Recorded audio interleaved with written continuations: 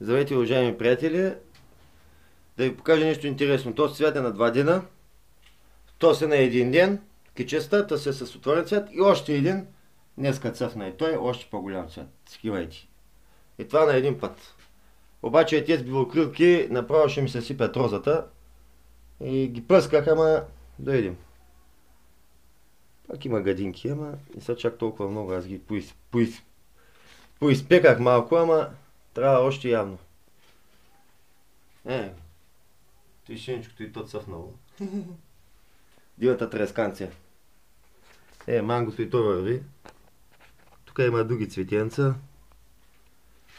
Тук има разни такова. Ето и дето цъфти много интересни цветове. Ето и много интересни цветове, големи червени. Дивата лозичка японската. Както чета, трудно има всичко по малкото. Е някаква обикновена бегония, ама върши работа.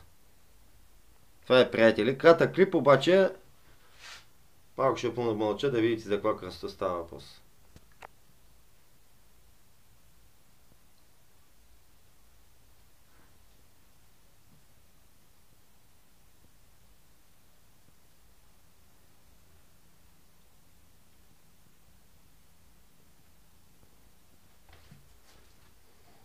Това ще го кача, уважаеми приятели, в YouTube канала и в Facebook.